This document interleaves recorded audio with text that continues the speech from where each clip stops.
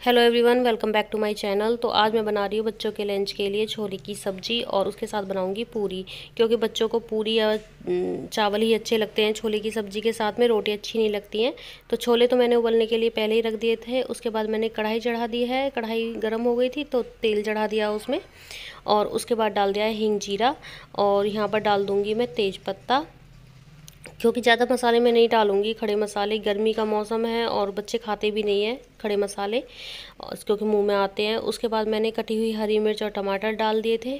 और आज मैं बिना प्याज और लहसुन के ही बना रही हूँ छोले की सब्ज़ी, क्योंकि मैं बनाती नहीं हूँ।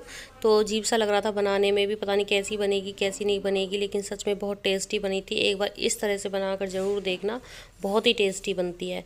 तो उसके बाद थोड़े से मैंने फ्राई कर लिए थे टमाटर, और उसके बाद डाल दिया है इसमें मसाले।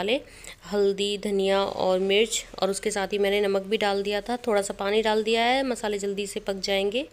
और उसके बाद यहाँ पर मैं इसको मिक्स कर लूँगी अच्छी तरह से। उसके बाद डाल दिया है मैंने चना मसाला। चना मसाला से ही इसका असली टेस्ट आता है।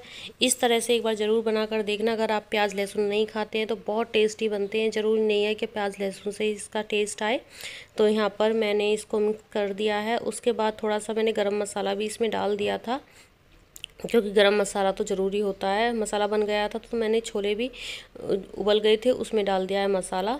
तो मसाला मैंने मिक्स कर दिया है इसमें। इसको थोड़ी देर मैं बॉईल होने दूँगी सब्ज़ी को ताकि ये अच्छे से पक जाए। उसके बाद सब्ज़ी बनकर हो गई थी तैयार।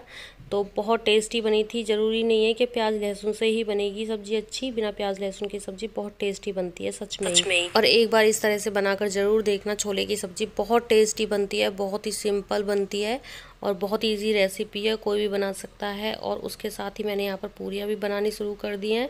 तो पूरियाँ भी बनकर तैयार है। वीडियो अच्छा लगा तो चैनल को सब्सक्राइब ज़रूर करना वीडियो को लाइक